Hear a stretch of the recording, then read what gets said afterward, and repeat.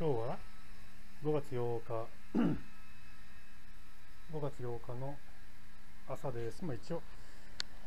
なんか今日早く起きたから早く作業しようとは思ってます。でまあ余ったペンキ塗りました。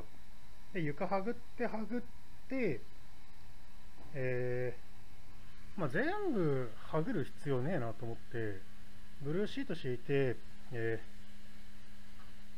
ー、1体しかないからもう1体入れようかなって感じです。あの、床下カラッと。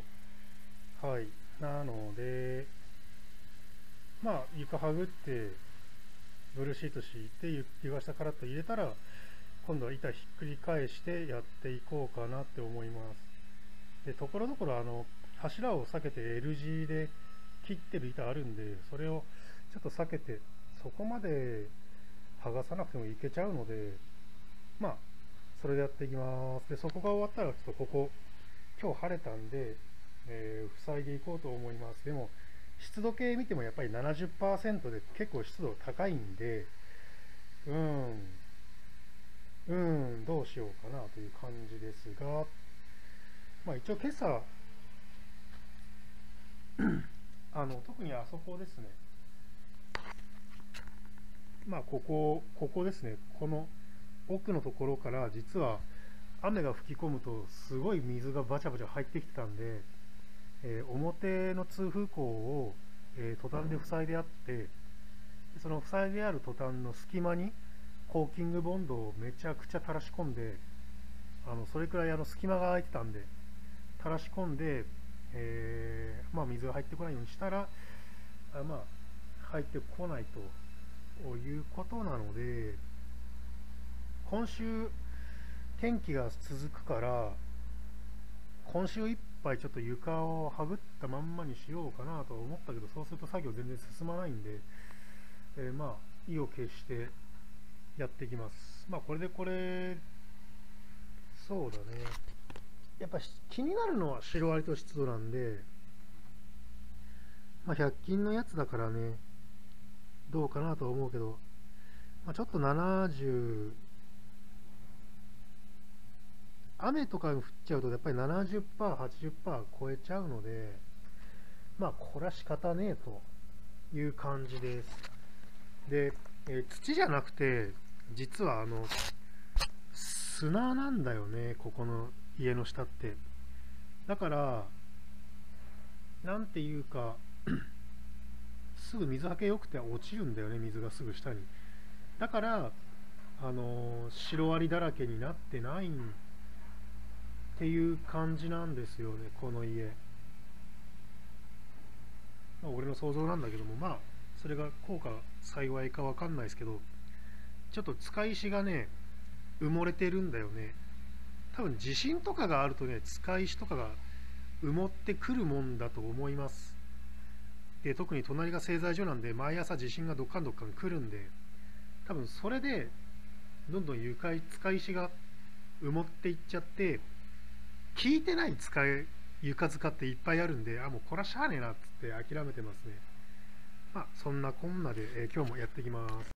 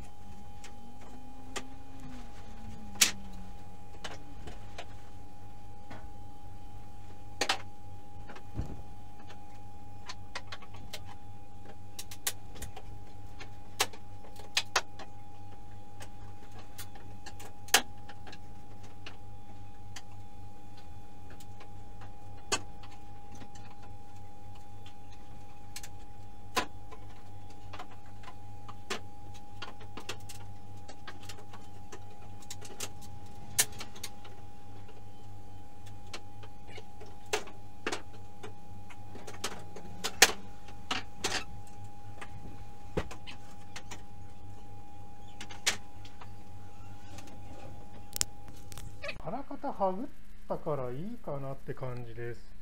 であとこの後あのまたブルーシート4.5畳のやつを切れ込み入れてここに入れますでうーんどうしようかな。多分もう1体床下からとはいらないか。はい。まあここはそんなにびちゃびちゃではなかったんだけれども。やっぱりね水が入ってきてるんだよね。で多分これここそこにある通風口がすぐそこ窓の向こう側であそこにも実は通風口あったんだね。でもまああそこはね水落ちてこないからまあいいとしてはい。まああとはこれ以上剥がさなくていいかなって感じです。めんどくさいんで。あとは釘抜いてブルーシートを切って、えー、床下からっと1体だけ巻いていきます。